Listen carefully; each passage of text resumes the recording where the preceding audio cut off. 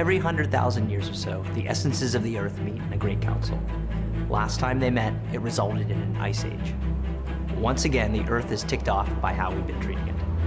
And the only thing standing in the way of another extinction event is the political maneuvering and adventures of three kids. Earthlings, a novel by me.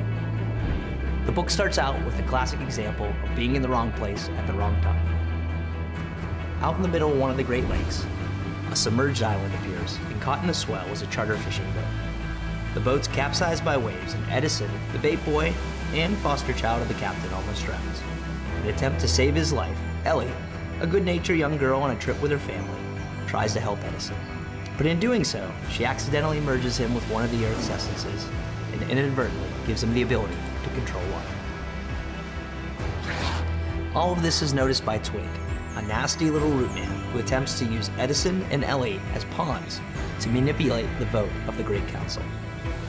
As the viciousness and politics take over, Ellie and Edison find themselves trying to defend humanity, running for their lives.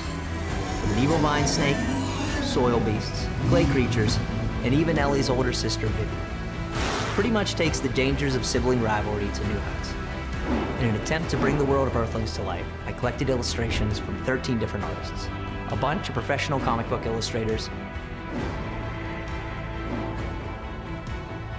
and some young new talent. If you're a fan of adventure, science fiction, coming of age stories, and some fun, then I hope Earthlings is for you. Earthlings, available in both print and digital.